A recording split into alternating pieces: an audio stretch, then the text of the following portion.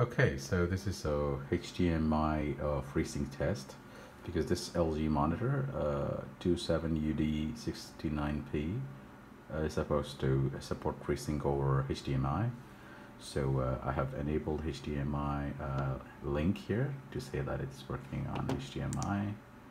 I've completely disconnected the display port, so it's, it's just connected over HDMI. You can see that here. There you go. FreeSync is on and that's the model number. Okay so uh, let me start the FreeSync test. It's an AMD FreeSync test that's free to download. Okay there you go.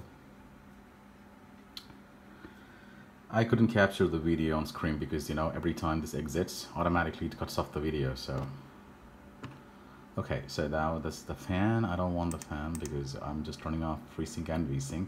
We will use this one, so it's easy to uh, see the bars here. See, okay, there you go. The jittery edges.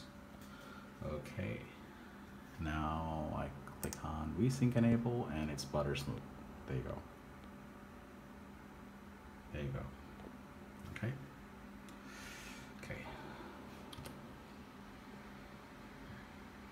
The problem is when you use HDMI, you don't see 10 bit, just 8. That's it.